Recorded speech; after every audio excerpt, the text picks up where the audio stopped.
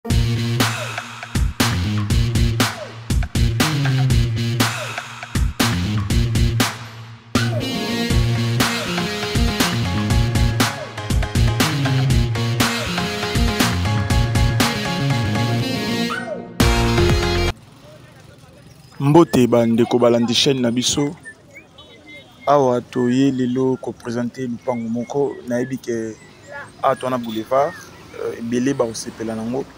donc art wana boulevard lumumba boulevard lumumba donc euh, mpona baoyo bayebi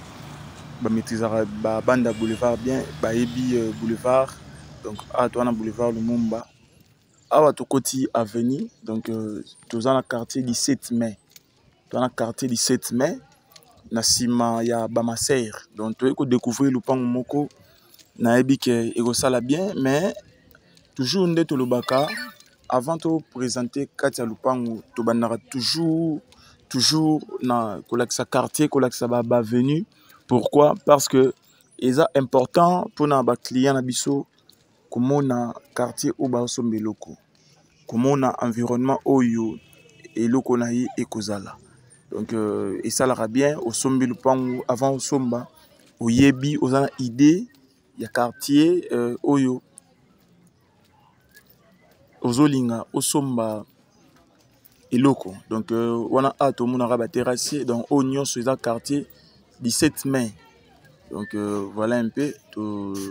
tozomarche to, to, donc euh, tolobaki tobanda ozwa mata na biso ya kotambola soki esenga ata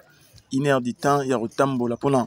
komona lopango esika ezali en tout cas tobanda otambola donc euh, na, na ndenge kaka ya idéologie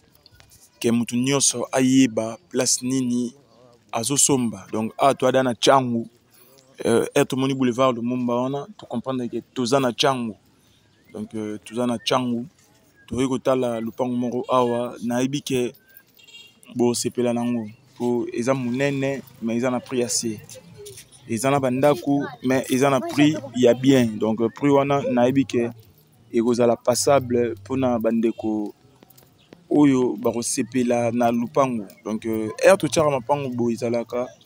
soki osepeli na yango okomi obengi tokoyamba yo so omoni peut-être tozoyamba te lokola lelo bato babengi biso na moya nabandaki koyamba te vu que nazalaki na volant donc euh, kotambola na motuka koyamba telefone na ekumbela kinshasa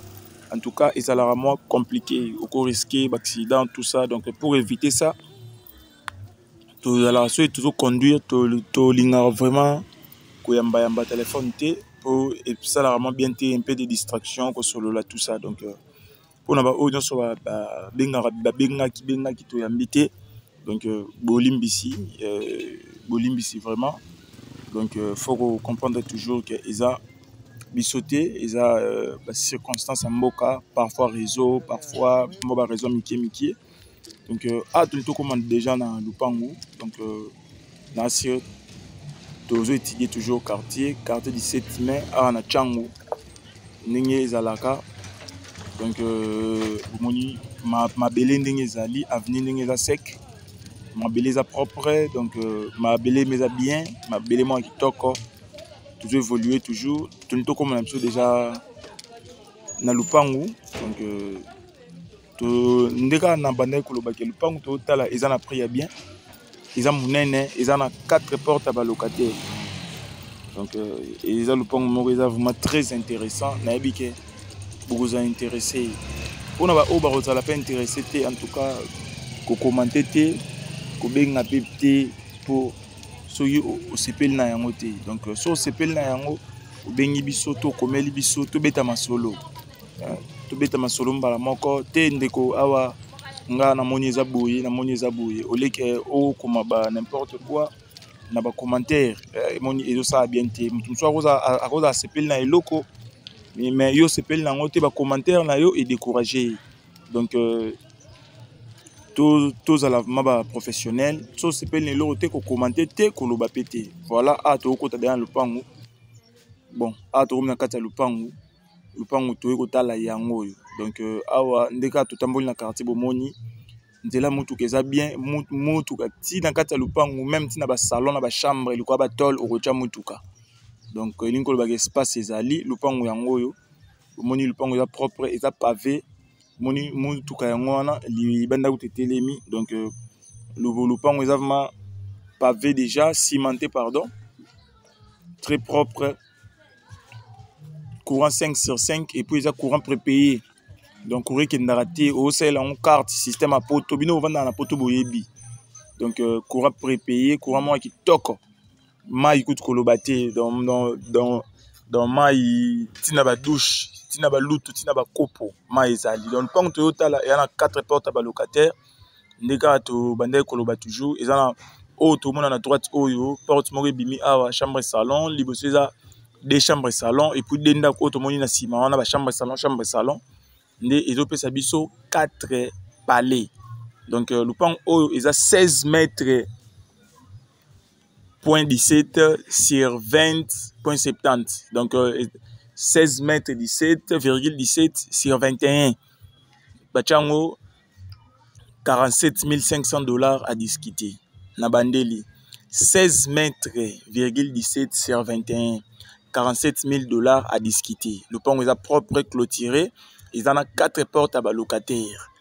donc euh, baporte oyo tomoni wana oyo ya oyo eza na gauche oyo eza deux chambres salon deux chambre salon esika mama aza wana chambre salon epuis de ndako ya nsima wana bachambre salon chambre salon wana probabilité ya liboso to baluka nao na nsima totala nsima ya ndako epesa biso mpe kaka idée awa to wana nsima ya ndako place badale na bainstallation sanitaire ezali donc voilà mpe oyo nsima ya palais nsima ya palais tozobaluka donc tolakisa bino nyonso mpo bomona ma idéologie donc euh, nsima ndako yango oyo o nsima ya de ndako ya gauche awa donc euh, tomonana idéologie mobimba ndenge ezali comme ça tobeta lisolo ya morcellement mpona baoyo baza na mposa ya bazana interesse na morcellement lopango oyo morcellement na yango ezosalama boye ndako oyo eza na droite oyo biso nyonso tomona eza na droite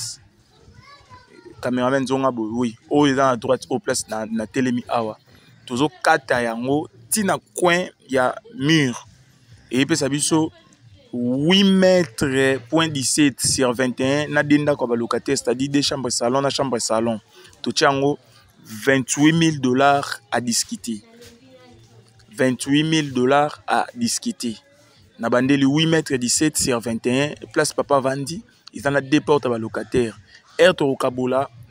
ndako mpe ya nsima wana ekende na ngambo ya ndako oyo 28 000 dollars à discuter kote sikoyo eza lokola zela tozonga wana mpo tomona yango esu bien donc kote euh, ya ndako tolobi 28 000 dollars à discuter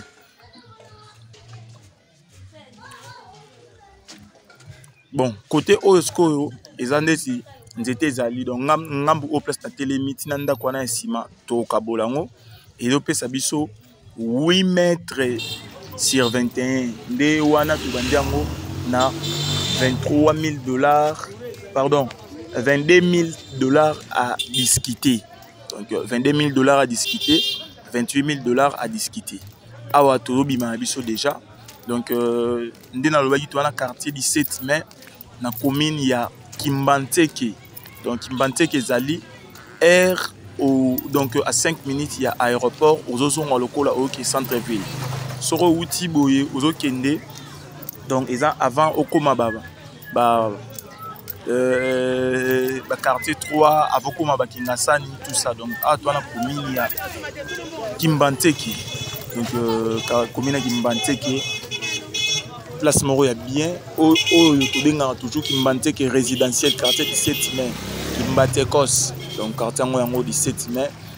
bomona mituka ata normal nzela eza bien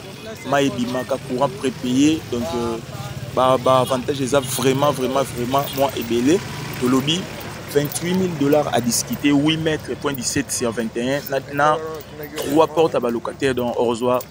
deux portes oyo oh, ekangami wana epuis na porte moko ya nsima aire tokomorcele nazwa lokola chambre salon moko na nsima de sel lokola trois porte ya balocataire 28 000 oyo oh, akozwa 8 mètre juste sur 21 na porte ya chambre salon na nsima ye 22 000 dollars à discuter 22 000 dollars à discuter donc euh, par rapport ya prix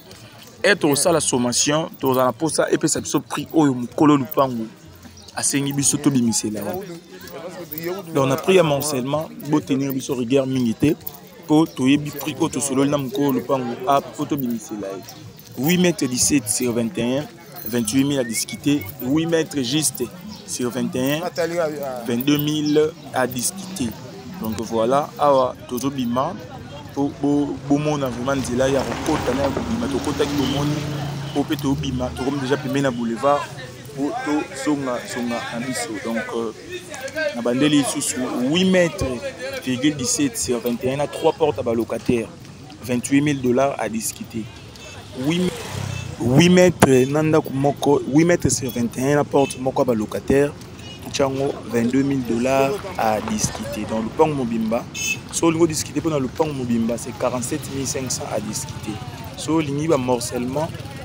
28000 22000 oyo ezopesa 50000 à discuter